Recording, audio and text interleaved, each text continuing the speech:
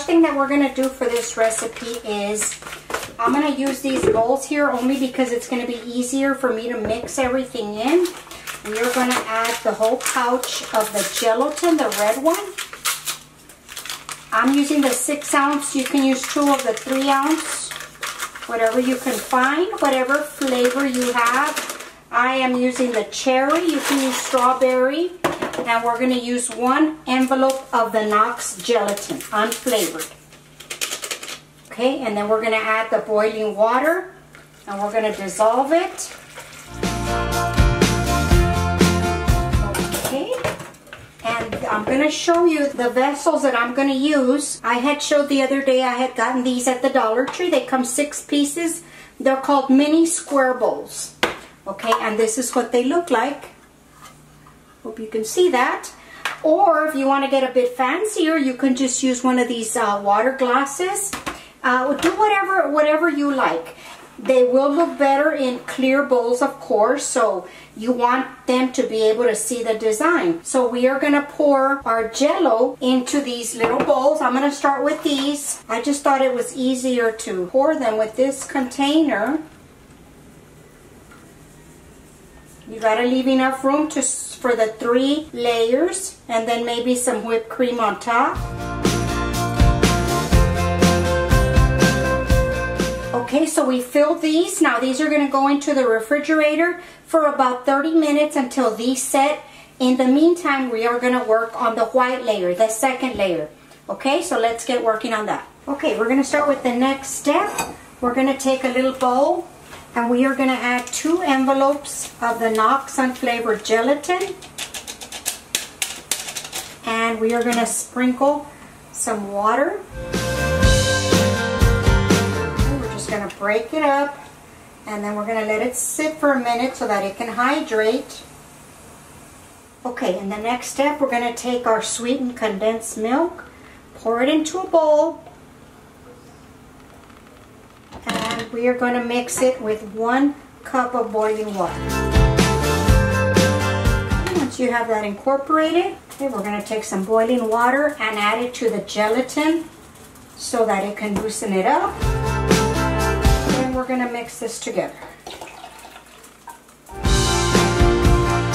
Okay, we're going to get our jello from the refrigerator. We're going to pour this on top. All right, I transferred the liquid to a measuring cup just so that it makes it easier to pour. And then we're going to pour the next layer. Okay, they're filled now. There's still room enough for the next layer. So I'm going to pop these in the refrigerator. It's going to take about 30 minutes. In the meantime, we will get the next jello ready. Okay guys, now we're going to do the last uh, jello. I have the hot water here. We're going to add in our, our Knox gelatin and our blue jello.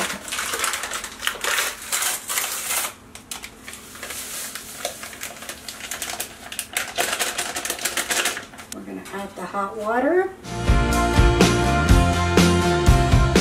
the hot water. just going to pour them into our vessels. Okay, now we're just going to pop these back into the refrigerator and I will be back to finish the process. Okay everybody, we're going to finish off the jello. They are completely firm. They are completely set up. As you can see, look at how cute that looks. Look at this. And now I'm going to spruce them up just a little bit more for presentation. I'm going to take some uh, whipped cream, just the, the little can whipped cream, and I'm going to put some on top. Okay, and if you want to spruce them up even more, what you can do is take some sprinkles and sprinkle the top with the red, white, and blue and just make them look super pretty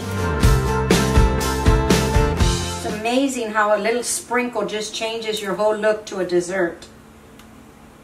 And then if you want to add some white ones, you can. You might not see them too well because of the whipped cream, but that's okay.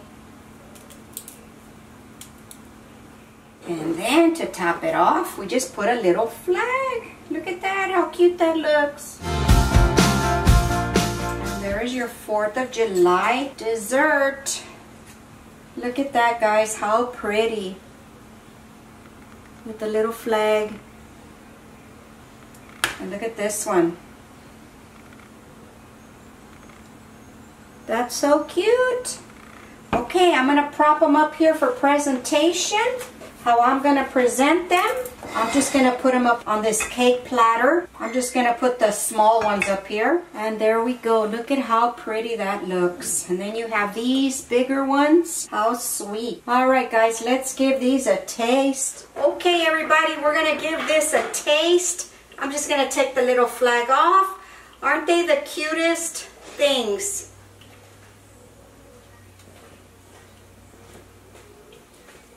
Mm-hmm. That blueberry jello is good. And then the whipped cream. I want to taste the condensed milk. Mmm. Very good. These are very good, guys. I knew they would be. I mean, who can go wrong with jello and whipped cream? Delicious. But mainly it's presentation. The presentation, I wanted to show you another way to present them than the way I see them on the internet. Just use your imagination, guys. There's a million ways you can do things. Uh, you don't have to be stuck to just one thing. Okay guys, that's going to conclude the video. I hope you enjoyed it. I really enjoyed making this for you. Don't forget to leave a thumbs up. If you have any questions, leave a comment in the description down below and I will get back with you. And I will leave all the ingredients for the recipe in the description box below. Okay guys, I'll talk to y'all later. Bye.